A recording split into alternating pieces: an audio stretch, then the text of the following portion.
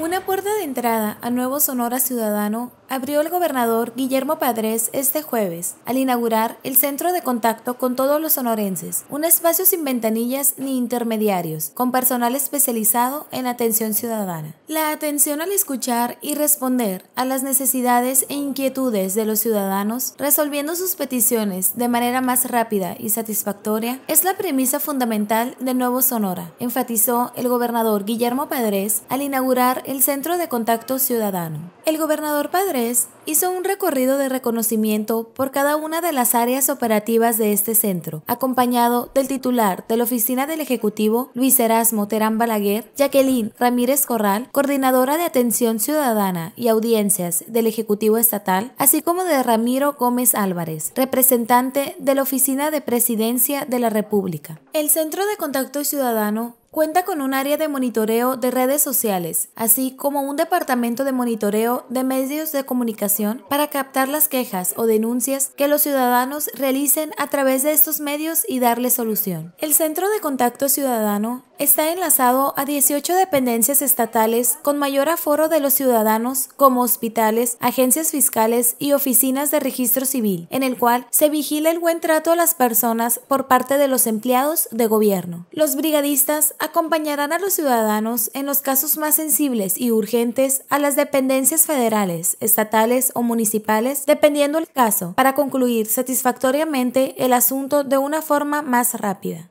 Todo un sistema integrado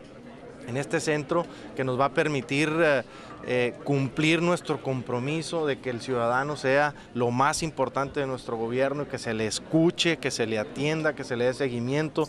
Creo que este centro marca un antes y un después de la atención ciudadana de mi gobierno. Desde que yo llegué me comprometí y le pedí al licenciado Luis Erasmo Terán Balaguer, aquí a todo su equipo,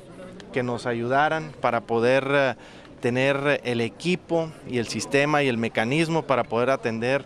tantas solicitudes de los ciudadanos. Pero lo importante de este centro es poder eh,